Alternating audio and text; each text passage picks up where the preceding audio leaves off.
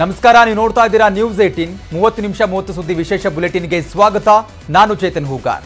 ನನ್ನ ಜೊತೆ ಇದರ ನನ್ನ ಕಲೀಗ್. ನಾನ್ ಧನುಶ್ರೀ. ಎಸ್ ವೀಕ್ಷಕರು ಇವತ್ತು ಬೆಳಗ್ಗೆಯಿಂದ ಆಗಿರುವಂತಹ ವಿದ್ಯಮಾನಗಳ ಪ್ರಮುಖ ಸುದ್ದಿಗಳನ್ನು ಒಂದೊಂದಾಗಿ ನೋಡ್ತಾ ಹೋಗೋಣ. ಮೋದಿ ಹೆಸರನ್ನ ಆಕ್ಷೇಪ ರೀತಿ ಬಳಕೆ ಮಾಡಿ ಇಕ್ಕಟ್ಟಿಗೆ ಸಿಲುಕಿದ್ದ ರಾಹುಲ್ ಗಾಂಧಿಗೆ ಸುಪ್ರೀಂ ಕೋರ್ಟ್ ರಿಲೀಫ್ ಅನ್ನ ಕೊಟ್ಟಿದೆ. ಸಂಸದ ಸ್ಥಾನದ ಅನರ್ಹತೆಗೆ ಸುಪ್ರೀಂ ಕೋರ್ಟ್ ತಡೆ ನೀಡಿದೆ. ಇಂತಹ ಹೇಳಿಕೆ ಉತ್ತಮ ಅಭಿರುಚಿಯದ್ದಲ್ಲ. ಸಾರ್ವಜನಿಕ ವಲಯದಲ್ಲಿ ಇರುವವರು ಎಚ್ಚರಿಕೆಯಿಂದ ಇರಬೇಕು. ಅಲ್ಲದೆ ಪ್ರಕರಣದಲ್ಲಿ ಗರಿಷ್ಠ ಶಿಕ್ಷೆ ಪ್ರಮಾಣ ಕೂಡ ಅಗತ್ಯವಿರಲಿಲ್ಲ ಅಂತ ಹೈಕೋರ್ಟ್ ಹೇಳಿಕೆಯನ್ನ ಕೊಟ್ಟಿದೆ ಸುಪ್ರೀಂ ಕೋರ್ಟ್ ತೀರ್ಪು ನೀಡ್ತಾ ಇದ್ದಂತೆ ದೆಹಲಿಯ ಎಐಸಿಸಿ ಕಚೇರಿಗೆ ಆಗಮಿಸಿದ ರಾಹುಲ್ ಗಾಂಧಿ ಹಾಗೂ ಎಐಸಿಸಿ ಅಧ್ಯಕ್ಷ ಮಲ್ಲಿಕಾರ್ಜುನ್ ಖರ್ಗೆ ಸುದ್ದಿಗೋಷ್ಠಿಯನ್ನ ಮಾಡಿದ್ದಾರೆ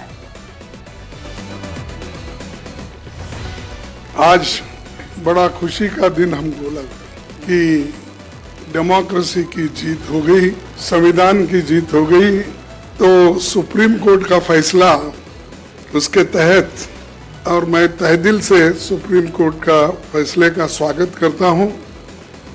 अभी संविधान ज़िंदा है बाकी है और न्याय मिल सकता है। ये इस राहुल जी के बाद सिंघवी साहब और अधीर रंजन जी प्रेस कॉन्फ्रेंस करेंगे। Thank you Kharge ji. आप सबका यहाँ बहुत बहुत स्वागत आज नहीं तो कल ಇನ್ನು ಈ ಬಗ್ಗೆ ಪ್ರತಿಕ್ರಿಯೆ ಕೊಟ್ಟಿರುವಂತಹ ಡಿಸಿಎಂ ಡಿ ಕೆ ಶಿವಕುಮಾರ್ ನಮಗೆ ನ್ಯಾಯಾಲಯದ ಬಗ್ಗೆ ನಂಬಿಕೆ ಇದೆ ಆಗಿರುವ ಅನ್ಯಾಯಕ್ಕೆ ಖಂಡಿತ ನ್ಯಾಯ ಸಿಗಲಿದೆ ಅವರು ಪಿಎಂ ಆಗಿರಬೇಕು ದೇಶದ ಜವಾಬ್ದಾರಿ ತೆಗೆದುಕೊಳ್ಬೇಕು ಅಂತ ಹೇಳಿದ್ದಾರೆ ನಮಗೆ ನ್ಯಾಯಾಲಯದ ಬಗ್ಗೆ ನಮಗೆ ನಂಬಿಕೆ ಇದೆ ಖಂಡಿತ ಏನು ಒಂದು ಅನ್ಯಾಯ ಇದೆ ಖಂಡಿತ ನ್ಯಾಯ ಸಿಗ್ತದೆ ಏಳು ಲಕ್ಷ ವೋಟರ್ ಗೆದ್ದಿದ್ದಾರೆ ಅವ್ರು ಎಂ ಪಿ ಆಗಿರಬೇಕು ದೇಶದ ಜವಾಬ್ದಾರಿ ತೆಗೆದುಕೊಳ್ಬೇಕು ಇನ್ನು ರಾಹುಲ್ ಗಾಂಧಿಗೆ ಸುಪ್ರೀಂ ಕೋರ್ಟ್ನಲ್ಲಿ ಬಿಗ್ ರಿಲೀಫ್ ಸಿಗ್ತಾ ಇದ್ದಂತೆ ಕಾಂಗ್ರೆಸ್ ಕಾರ್ಯಕರ್ತರು ಸಂಭ್ರಮಾಚರಣೆ ಮಾಡಿದ್ದಾರೆ. ಧಾರವಾಡ ನಗರದ ಅಂಬೇಡ್ಕರ್ ವೃತ್ತದಲ್ಲಿ ಪಟಾಕಿ ಸಿಡಿಸಿ ಸಿಹಿ ಹಂಚಿ ಖುಷಿ ಪಟ್ಟಿದ್ದಾರೆ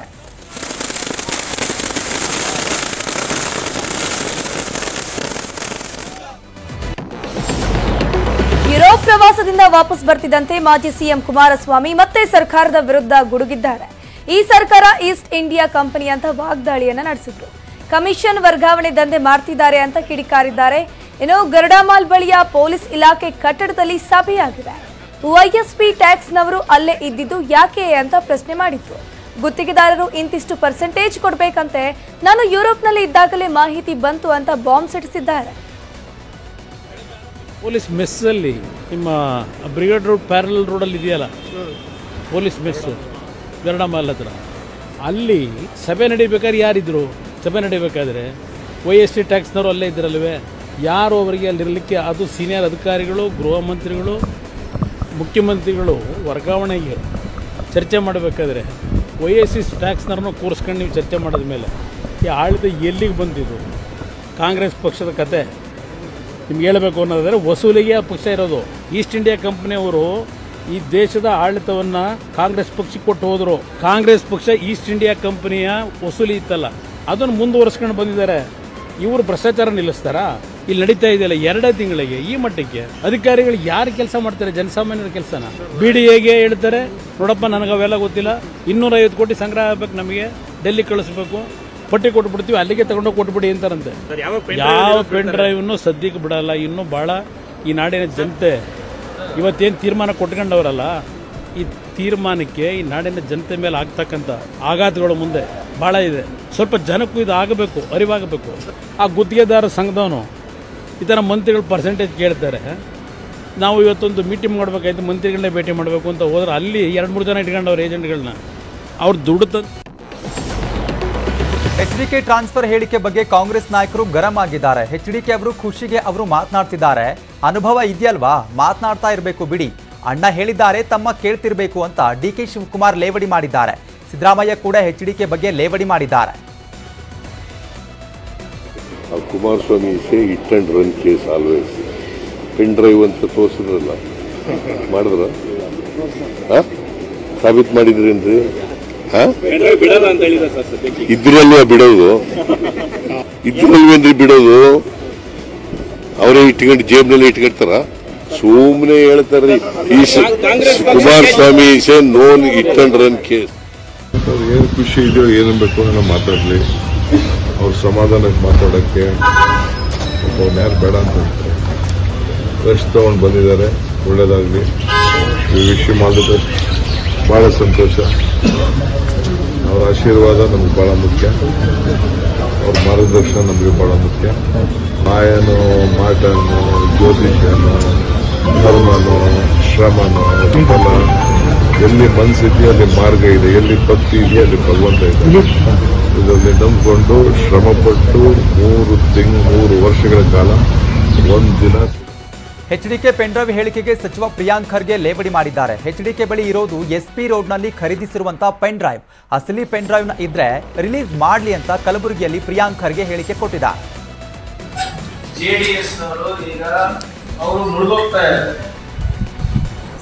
ಈಗ ಅದಕ್ಕೆ ಅವನು ಅಸ್ತಿತ್ವವನ್ನ ಉಳಿಸ್ಕೊಳ್ಳಿಕ್ಕೆ ಇವತ್ತು ಹೀಗೆ ಇರ್ಲಾರ್ದೆಲ್ಲ ಮಾತನಾಡ್ತಾ ಇದ್ದಾರೆ. ನಾನು ದಯವಿಟ್ಟು ಮನವಿ ಮಾಡ್ಕೊಳ್ತೇನೆ. ಇವಾಗ ಯಾಕೆ ಹಿಂಗಾಗಿದಾರೋ ಗೊತ್ತಿಲ್ಲ. ಅದೇನು ಬಿಜೆ ವಿರೋಧ ಪಕ್ಷ ನಾಯಕರಾಗ್ಬೇಕಂತ ಇದ್ರೆ ಈಗ, ಜೆ ಡಿ ಎಸ್ ಅಂತೂ ನೆಲ ಕಚ್ಚಿದೆ. ಯುರೋಪ್, ಸಿಂಗಾಪುರ್ ಎಲ್ಲ ಪ್ರವಾಸ ಮಾಡ್ತಾ ಇದ್ದಾರೆ. ಮಾಡ್ಲಿ. ಬೇರೆ ಬೇರೆ ದೇಶದಲ್ಲಿ ಏನೇನ್ ನಡೀತಾ ಇದೆ, ಹೇಗೆ ನಡೀತಾ ತಿಳ್ಕೊಂಡು ಬಂದಿದ್ದು ಹೇಳಿ ಎಲ್ಲರೂ. ಇವರು ಟ್ವೆಲ್ತ್ ಮ್ಯಾನ್ ಕ್ಯಾಪ್ಟನ್ ಮಾಡಕ್ ಹೋಗ್ತಾ ಇದ್ದಾರೆ. ಅದರಿಂದ ಅವರು ಕ್ಯಾಪ್ಟನ್ ಆಗ್ಲಿಕ್ಕೆ ಬಯಸ್ತಾ ಇದ್ರು ನನಗೆ ಗೊತ್ತಿಲ್ಲ. ಬಟ್ ಮೊನ್ನೆ ಸದನದಲ್ಲಿ ನೋಡಿದಾಗ ಮಾತ್ರ ಜುಗಲ್ ಬಂದಿ ಬಹಳ ಆಗಿಲ್ಲ. ವಿದೇಶ ಪ್ರವಾಸದಿಂದ ಬಿಎಸ್ವೈ ವಾಪಸ್ ಬಂದಾಗ ಏರ್ಪೋರ್ಟ್ನಲ್ಲಿ ಡಿಕೆ ಶಿವಕುಮಾರ್ ಸಿಕ್ಕರು. ಡಿಕೆ ಶಿವಕುಮಾರ್ ದೆಹಲಿ ಪ್ರವಾಸ, ಪ್ರವಾಸವನ್ನ ಮುಗಿಸಿ ಬಂದಾಕ್ಷಣ ಏರ್ಪೋರ್ಟ್ ಹೊರಗಡೆ ಕಾರ್ನಲ್ಲಿದ್ದ ಬಿಎಸ್ವೈ ಅವರನ್ನ ಮಾತನಾಡಿಸಿತ್ತು ಕೈಕುಲಿಕೆ ಪರಸ್ಪರ ಕುಶಲೋಪರಿ ವಿಚಾರಣೆ ಮಾಡಿದ್ರು. ಸೌಜನ್ಯ ಕೊಲೆ ಕೇಸ್ ಬಗ್ಗೆ ಭಾರಿ ಚರ್ಚೆ ನಡೀತಾ ಇರುವ ಹೊತ್ತಲ್ಲೇ ಧರ್ಮಸ್ಥಳದಲ್ಲಿ ಪ್ರತಿಭಟನೆ ನಡೀತಾ ಇದೆ. ಧರ್ಮಸ್ಥಳದ ಧರ್ಮಾಧಿಕಾರಿ ವೀರೇಂದ್ರ ಹೆಗ್ಗಡೆ ಕುಟುಂಬದ ಬಗ್ಗೆ ಅವಹೇಳನ ಖಂಡಿಸಿ ಉಜಿರೆಯ ಜನಾರ್ದನ ಸ್ವಾಮಿ ರಥಬೀದಿಯಲ್ಲಿ ಬೃಹತ್ ಸಮಾವೇಶ ನಡೀತಾ ಇದೆ. ಅಖಿಲ ಕರ್ನಾಟಕ ಶ್ರೀ ಮಂಜುನಾಥ ಸ್ವಾಮಿ ಭಕ್- ಭಕ್ತ ವೃಂದದಿಂದ ಸಮಾವೇಶ ನಡೀತಾ ಇದೆ. ಸಮಾವೇಶದಲ್ಲಿ ಶಾಸಕ ಹರೀಶ್ ಪೂಂಜಾ, ಪ್ರತೀಪ್ ಪ್ರತಾಪ್ ಸಿಂಹ ನಾಯಕ್, ವಿನಯ್ ಕುಮಾರ್ ಸೋರಕೆ ಅಭಯಚಂದ್ರ ಜೈನ್ ಸೇರಿದಂತೆ ಪ್ರಮುಖರು ಈ ಒಂದು ಪ್ರತಿಭಟನೆಯಲ್ಲಿ ಭಾಗಿಯಾಗಿದ್ರು. ನಾ ಕಾವಾಂಧರ ಜೊತೆ ನಾವಿದ್ದೇವೆ. ಅವರನ್ನ ಅವಹೇಳನ ಮಾಡಿದ್ರೆ ಸುಮ್ಮನೆ ಇರೋದಿಲ್ಲ ಅಂತ ಎಚ್ಚರಿಕೆಯನ್ನ ಕೊಟ್ಟಿದ್ದಾರೆ. ಕಳೆದ ಹನ್ನೊಂದು ವರ್ಷಗಳ ಹಿಂದೆ ಧರ್ಮಸ್ಥಳದ ಒಂದು ಭಾಗದಲ್ಲಿ ಒಂದು ದುರ್ಘಟನೆ ನಡೀತದೆ. ಒಂದು ಕೊಲೆ ಆಗ್ತಾಳೆ. ಹಾಗಾಗಿ ಇದೊಂದು ಬಹಳ ನೋವಿನ ಸಂಗತಿ. ಆದರೆ ಆ ಬಗ್ಗೆ ಬಹಳಷ್ಟು ಕ್ರೋಧದಿಂದ ರೋಷದಿಂದ ಆ ದಿನದಲ್ಲಿ ನಾವು ಹೋರಾಟದ ಮುಂಚೂಣಿಯನ್ನು ಮಾಡಿಕೊಂಡೆವು. ನಂತರ ಈ ಒಂದು ಹೆಸರಿನಲ್ಲಿ ಬೇರೆಯವರು ಇದೊಂದು ಕಾರಣವನ್ನು ಇಟ್ಟುಕೊಂಡು ಬೇರೆ ಬೇರೆ ಸಮಾಜದ ಸ್ವಾಸ್ಥ್ಯವನ್ನು ಕೆಡಿಸುವಂಥ ನಿಟ್ಟಿನಲ್ಲಿ ಪ್ರಯತ್ನವನ್ನು ಮಾಡಿದರು. ಕ್ಷೇತ್ರವನ್ನು, ಧರ್ಮಸ್ಥಳದ ಹೆಗ್ಗಡೆಯವರನ್ನು ಮತ್ತು ಅವರೆಲ್ಲ ಕಾರ್ಯಕ್ರಮಗಳ ವಿರುದ್ಧ ಎಲ್ಲಿವರೆಗೆ ದುರ್ದೈವ ಅಂತ ಹೇಳಿದರೆ ಧರ್ಮಸ್ಥಳದ ಮಂಜುನಾಥ ಸ್ವಾಮಿಗೆ ಮತ್ತು ಅಣ್ಣಪ್ಪ ಸ್ವಾಮಿಗೆ ಕೈ ಮುಗಿಯುವುದೇ ವೇಸ್ಟ್ ಅಂತ ಹೇಳುವಂಥ ಒಂದು ವಿಷಯವನ್ನು ಒಬ್ಬ ವ್ಯಕ್ತಿ ಹೇಳ್ತಾನಂತ ಹೇಳಿದ್ರೆ, ಹಾಗಾದ್ರೆ ಅವರ ಮನಸ್ಥಿತಿ ಏನು? ಸೊ ಇನ್ನು ಧರ್ಮಸ್ಥಳದಲ್ಲಿ ನಡೀತಿರೋ ಪ್ರತಿಭಟನೆಯಲ್ಲಿ ಸೌಜನ್ಯ ತಾಯಿ ಕುಸುಮಾವತಿ ಹಾಗೂ ಅವರ ಕುಟುಂಬ ಸಹೋದರಿ ಭಾಗವಹಿಸಿದ್ರು. ಪ್ರಕರಣದಲ್ಲಿ ಹೆಗ್ಡೆ ಅವರ ಅವಹೇಳನ ಮಾಡಿಲ್ಲ, ಧರ್ಮಸ್ಥಳ ಕ್ಷೇತ್ರದ ಅವಹೇಳನವೂ ಮಾಡಿಲ್ಲ ಅಂತ ಸೌಜನ್ಯ ತಾಯಿ ಕುಸುಮಾವತಿ ನ್ಯೂಸ್ ಏಟೀನ್ಗೆ ಹೇಳಿಕೆಯನ್ನು ಕೊಟ್ಟರು ಸೌಜನ್ಯ ಸಹೋದರಿ ಕೂಡ ಮಾತನಾಡಿದ್ದಾರೆ. ಒಂದು ಸ್ಟೇಜ್ಗೆ ಹೋಗ್ಬೇಕಂತ ಬಂದದ್ದು ನಾವು ನನ್ನ ಮಗಳಿಗೆ ನ್ಯಾಯ ಕೇಳಬೇಕು. ಎಲ್ಲರ ಒಂದು ಅಕ್ಕ, ಅಮ್ಮಂದಿರ ನ್ಯಾಯ ಕೇಳ್ಬೇಕು ನಾವು ಬಂದಿದ್ದೇವೆ ಇಲ್ಲಿ. ನಾವು ನಮ್ಮನ್ನು ಸ್ಟೇಜ್ಗೆ ಹತ್ತಲಿಕ್ಕೆ ಬಿಡಲಿಲ್ಲ ಸರ್. ನನ್ನ ಮಗನ ಕೋಲಾರ ಇಟ್ಕೊಂಡಿದ್ದಾನೆ ಧರ್ಮಸ್ಥಳದವಳು. ನಾ ಧರ್ಮಸ್ಥಳ ಮಾಡಿದ ಇದೇ ಧರ್ಮನ ಸರ್ ಇದು ಅಲ್ಲ, ನಾವು ಧರ್ಮಸ್ಥಳ ಹೆಸರು ಎತ್ತಬಾರ್ದು ಅಂತ ಅಂತಾರೆ. ಇದೇನೋ ಇದು ಧರ್ಮ ಇದು. ಒಂದು ಹೆಣ್ಣು ಮಗಳಿಗೆ ನ್ಯಾಯ ಕೊಡಿಸ್ಬೇಕಿತ್ತು ಅವರು ಯಾಕೆ ನಮ್ಮನ್ನು ಸ್ಟೇಜ್ಗೆ ಹತ್ತಿಸಲಿಲ್ಲ ನಾವು ನ್ಯಾಯದ ಪರವಾಗಿ ಬಂದಿದ್ದೇವೆ.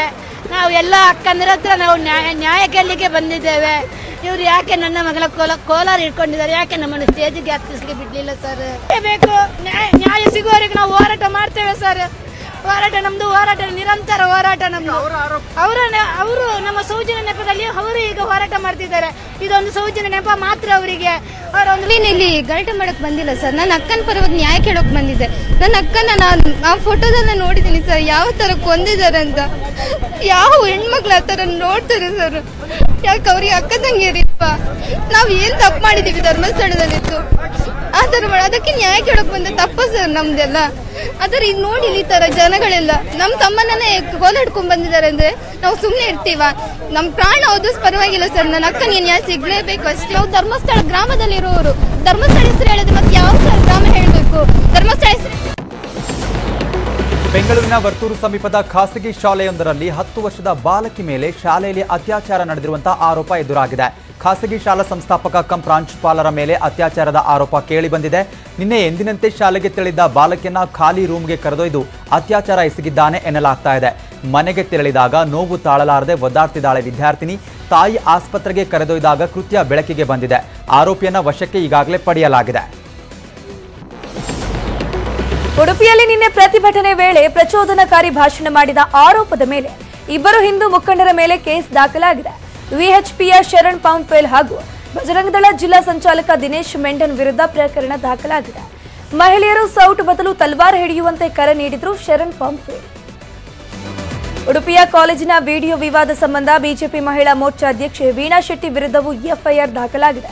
ಜುಲೈ ಇಪ್ಪತ್ತೆಂಟರಂದು ಬಿಜೆಪಿ ಹಮ್ಮಿಕೊಂಡಿದ್ದ ಪ್ರತಿಭಟನೆಯಲ್ಲಿ ಕೋಮು ದ್ವೇಷದ ಬಗ್ಗೆ ಭಾಷಣ ಮಾಡಿದ್ರು ಈ ಮಧ್ಯೆ ಕೋಟೆ ಶ್ರೀನಿವಾಸ್ ಪೂಜಾರಿ ನೇತೃತ್ವದಲ್ಲಿ ಬೆಂಗಳೂರಿನಲ್ಲಿ ಪ್ರತಿಭಟನೆಯಾಗಿದೆ. ರಾಜ್ಯಪಾಲರಿಗೆ ದೂರನ್ನ ನೀಡಲಾಗಿದ್ದು, ಎಸ್ಐಟಿ ತನಿಖೆ ಆಗ್ರಹ ಮಾಡಲಾಗಿದೆ. ಉಡುಪಿ ಕಾಲೇಜಿನಲ್ಲಿ ವಿಡಿಯೋ ವಿವಾದ ಕೇಸ್ಗೆ ಸಂಬಂಧಪಟ್ಟಂತೆ ಜಿಲ್ಲಾ ನ್ಯಾಯಾಲಯದಲ್ಲಿ ಸಂತ್ರಸ್ತೆಯ ಹೇಳಿಕೆ ದಾಖಲು ಮಾಡಲಾಗಿದೆ.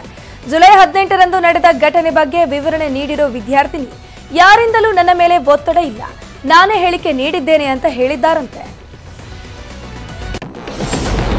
ಹುಬ್ಬಳ್ಳಿ ಕಾಲೇಜು ಒಂದರಲ್ಲಿ ಒಂದು ಕೋಮಿಗೆ ಸೇರಿದ ವಿದ್ಯಾರ್ಥಿನಿಯರ ಬಗ್ಗೆ ಅವಹೇಳನಕಾರಿ ಪೋಸ್ಟ್ ಮಾಡಲಾಗಿದೆ. ಯುವತಿಯರ ಫೋಟೋ ಅಶ್ಲೀಲವಾಗಿ ಎಡಿಟ್ ಮಾಡಿ ಪೋಸ್ಟ್ ಮಾಡಿದ್ದಲ್ಲದೆ ಆ ಯುವಕ ಪೊಲೀಸರಿಗೆ ಚಾಲೆಂಜ್ ಕೂಡ ಮಾಡಿದ್ದ. ಈ ಘಟನೆ ಬೆನ್ನಲ್ಲೇ ಕಾಲೇಜಿಗೆ ಡಿಸಿಪಿ ಗೋಪಾಲ್ ಬ್ಯಾಕ್ಕೋಡ್ ಹಾಗೂ ವಿದ್ಯಾನಗರ ಪೊಲೀಸರು ಭೇಟಿ ನೀಡಿದ್ದಾರೆ. ಕಾಲೇಜ್ ಪ್ರಾಂಶುಪಾಲರು ಮತ್ತು ವಿದ್ಯಾರ್ಥಿನಿಯರಿಂದ ಮಾಹಿತಿಯನ್ನು ಪಡೆದುಕೊಂಡಿದ್ದಾರೆ. ಪೋಸ್ಟ್ ಮಾಡಿದ ವಿದ್ಯಾರ್ಥಿ ಸಮರ್ಥ್ ಕಾಲೇಜಿನವರು ಅಂತ ಮಾಹಿತಿ ಕೂಡ ಸಿಕ್ಕಿದೆ. ಸಚಿವ ಮಧು ಬಂಗಾರಪ್ಪ ವಿರುದ್ಧ ಶಿವಮೊಗ್ಗದಲ್ಲಿ ಪ್ರತಿಭಟಿಸಿದ ಬಿಜೆಪಿಯವರ ಮೇಲೆ ಕೇಸ್ ದಾಖಲಾಗಿದೆ. ಕಪ್ಪು ಪಟ್ಟಿಯನ್ನು ಪ್ರದರ್ಶಿಸಿದ್ದ ಹದಿಮೂರು ಯುವ ಮೋರ್ಚಾ ಕಾರ್ಯಕರ್ತರ ವಿರುದ್ಧ ಇದೀಗ ಕೇಸ್ ದಾಖಲಾಗಿದೆ. ಅಲ್ಲದೆ ಗೋ ರಕ್ಷಣೆಗಾಗಿ ಹೋರಾಡುವವರ ವಿರುದ್ಧ ಸಾಗರ ಹಾಗೂ ಸೊರಬ ಭಾಗದಲ್ಲಿ ನೋಟಿಸ್ ಅನ್ನು ನೀಡಲಾಗಿದೆ. ಬೆಲೆ ಏರಿಕೆ ಖಂಡಿಸಿ ಕನ್ನಡಪರ ಹೋರಾಟಗಾರ ವಾಟಾಳ್ ನಾಗರಾಜ್ ವಿಶಿಷ್ಟ ಪ್ರತಿಭಟನೆ ಮಾಡಿದ್ದಾರೆ. ಬೆಂಗಳೂರಿನ ಮೆಜೆಸ್ಟಿಕ್ನಲ್ಲಿ ಒಂದು ರೂಪಾಯಿಗೆ ಒಂದು ಮುದ್ದೆ ಮಾರಾಟ ಮಾಡಿದ್ದಾರೆ. ಅಗತ್ಯ ವಸ್ತುಗಳ ಬೆಲೆ ಇಳಿಸುವಂತೆ ಆಗ್ರಹ ಮಾಡಿದ್ದಾರೆ. ಬೆಂಗಳೂರಿನ ಪುಟ್ಟೇನಹಳ್ಳಿಯಲ್ಲಿ ಡ್ರಿಂಕ್ ಅಂಡ್ ಡ್ರೈವ್ ಹುಚ್ಚಾಟ ನಡೆದಿದೆ. ಆಗಸ್ಟ್ ಎರಡರ ರಾತ್ರಿ ಎಂಟು ಮೂವತ್ತರ ವೇಳೆಗೆ ನಡೆದಿರೋ ಘಟನೆ ಇದೀಗ ತಡವಾಗಿ ಬೆಳಕಿಗೆ ಬಂದಿದೆ. ಮೈಸೂರಿನಿಂದ ಸ್ನೇಹಿತರ ಭೇಟಿಗೆ ಬಂದಿದ್ದ ವಿಷ್ಣು ಎಂಬಾತ ಮದ್ಯವನ್ನು ಸೇವಿಸಿ ಕಾರನ್ನು ಚಲಾಯಿಸಿದ್ದಾನೆ. ಈ ವೇಳೆ ಪುಟ್ಟೇನಹಳ್ಳಿಯ ನಂದಿನಿ ಜಂಕ್ಷನ್ ಬಳಿ ಪಾದಾಚಾರಿಗೆ ಗುದ್ದಿದ್ದಾನೆ. ರಾಯಚೂರಿನಲ್ಲಿ ಚಾಕ್ಲೇಟ್ ಡ್ರಗ್ಸ್ ದಂಧೆ ಮುಂದುವರೆದಿದ್ದು ಅಬಕಾರಿ ಪೊಲೀಸರು ಯರ್ಮರಸ್ ಬಳಿ ಕಾರ್ಯಾಚರಣೆ ಮಾಡಿದ್ದಾರೆ. ದಾಳಿ ವೇಳೆ ಇನ್ನೂರು ಗಾಂಜಾ ಚಾಕ್ಲೇಟ್ ಅನ್ನ ಜಪ್ತಿ ಮಾಡಲಾಗಿದೆ. ಅಬಕಾರಿ ಪೊಲೀಸರು ಬಿಹಾರ ಮೂಲದ ಇಬ್ಬರು ಆರೋಪಿಗಳನ್ನ ಬಂಧನ ಮಾಡಿದ್ದಾರೆ. ವೆಲ್ಕಮ್ ಬ್ಯಾಕ್ ಉಳಿದ ಸುದ್ದಿಗಳನ್ನ ಒಂದೊಂದಾಗಿ ನೋಡ್ತಾ ಹೋಗೋಣ. ಎನ್ಡಿಎತರ ವಿಪಕ್ಷಗಳ ಒಕ್ಕೂಟ ಇಂಡಿಯಾ ಪದ ಬಳಸಿರೋ ಬಗ್ಗೆ ದೆಹಲಿ ಹೈಕೋರ್ಟ್ನಿಂದ ನೋಟಿಸ್ ಜಾರಿ ಮಾಡಲಾಗಿದೆ. ಕೇಂದ್ರ ಸರ್ಕಾರ ವಿಪಕ್ಷಗಳು ಹಾಗೂ ಚುನಾವಣಾ ಆಯೋಗಕ್ಕೆ ವಿವರಣೆ ಕೇಳಿ ನೋಟಿಸ್ ಅನ್ನು ಕೊಡಲಾಗಿದೆ. ಕಾಂಗ್ರೆಸ್ ನೇತೃತ್ವದ ವಿಪಕ್ಷಗಳ ಒಕ್ಕೂಟಕ್ಕೆ ಇಂಡಿಯಾ ಎಂದು ಹೆಸರು ಇಟ್ಟುಕೊಂಡ ಬಗ್ಗೆ ಆಕ್ಷೇಪ ವ್ಯಕ್ತಪಡಿಸಿ ಕೋರ್ಟ್ ಮೆಟ್ಟಿಲೇರಲಾಗಿತ್ತು. ಭಾರತೀಯ ಪುರಾತತ್ವ ಸರ್ವೇಕ್ಷಣಾ ಇಲಾಖೆ ಉತ್ತರ ಪ್ರದೇಶದ ವಾರಣಾಸಿಯ ಕಾಶಿ ವಿಶ್ವನಾಥ ದೇವಸ್ಥಾನದ ಪಕ್ಕದಲ್ಲಿರುವ ಜ್ಞಾನವಾಪಿ ಮಸೀದಿಯಲ್ಲಿ ಸರ್ವೆಯನ್ನು ಶುರು ಮಾಡಿದೆ. ಭಾರೀ ಪೊಲೀಸ್ ಭದ್ರತೆಯ ನಡುವೆ ವೈಜ್ಞಾನಿಕ ಸಮೀಕ್ಷೆ ನಡೆಯುತ್ತಿದೆ. ಮಾಧ್ಯಮದವರು ಹಾಗೂ ಸ್ಥಳೀಯರ ಭೇಟಿಗೆ ನಿರ್ಬಂಧವನ್ನ ಹೇರಲಾಗಿದೆ. ವಾರಣಾಸಿಯ ಜ್ಞಾನವಾಪಿ ಮಸೀದಿ ಆವರಣದಲ್ಲಿ ಸಮೀಕ್ಷೆ ನಡೆಸಲು ಅನುಮತಿ ನೀಡಿರುವುದನ್ನು ಪ್ರಶ್ನಿಸಿ ಅರ್ಜಿಯನ್ನು ಸಲ್ಲಿಸಿದ್ದ ಅಂಜುಮನ್ ಇಂತೆಜಾಮಿಯಾ ಮಸೀದಿ ಸಮಿತಿ ಸಲ್ಲಿಸಿದ ಅರ್ಜಿಯನ್ನು ಅಲಹಾಬಾದ್ ಹೈಕೋರ್ಟ್ ನಿನ್ನೆ ವಜಾಗೊಳಿಸಿತ್ತು. ಹೀಗಾಗಿ ಇಂದಿನಿಂದ ಸರ್ವೆ ಶುರುವಾಗಿದೆ. ಮಂಡ್ಯ ಜಿಲ್ಲೆಯ ಪಾಂಡವಪುರದಲ್ಲೊಂದು ಘಟನೆ ನಡೆದಿದೆ. ಯುವತಿಯನ್ನ ಚುಡಾಯಿಸುತ್ತಿದ್ದದನ್ನ ಪ್ರಶ್ನಿಸಿದ್ದಕ್ಕೆ ಅಂಗಡಿಯನ್ನೇ ಧ್ವಂಸ ಮಾಡಲಾಗಿದೆ. ಬಸ್ ನಿಲ್ದಾಣದಲ್ಲಿ ಏಕಾಂಗಿಯಾಗಿ ನಿಂತಿದ್ದ ಯುವತಿಗೆ ನಿನ್ನೆ ಕೆಲ ಪುಂಡರು ಪೋಖರಿಗಳು ಕಿರುಕುಳವನ್ನು ಕೊಟ್ಟಿದ್ದಾರಂತೆ.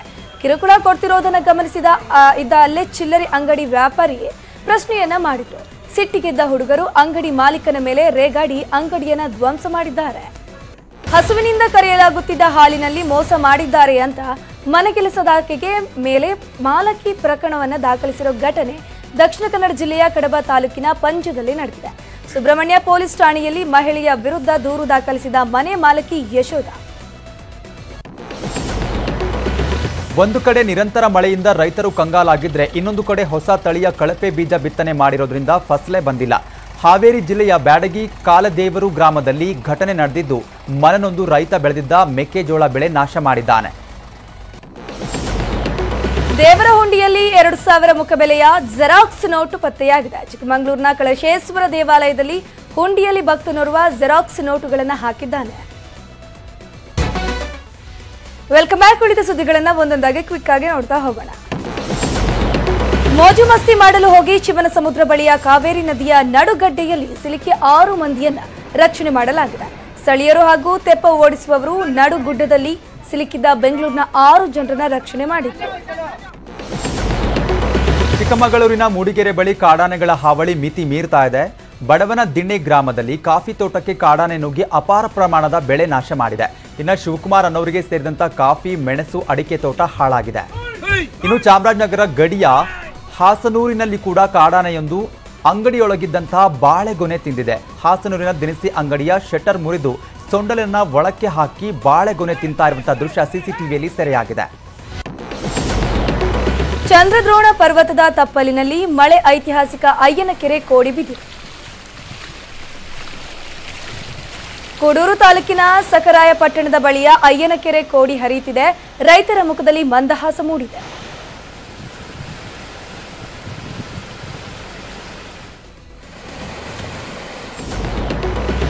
ವಿಧಾನಸೌಧದ ಮುಂದೆ ಯುವತಿಯೊಬ್ಬಳು ರಿವರ್ಸ್ ಪಲ್ಟಿ ಹೊಡೆದಿದ್ದಾಳೆ. ಐದು ಬಾರಿ ಬ್ಯಾಕ್ ಫ್ಲಿಪ್ ಹೊಡೆದ ವಿಡಿಯೋ ಸಖತ್ತು ವೈರಲ್ ಆಗಿದೆ.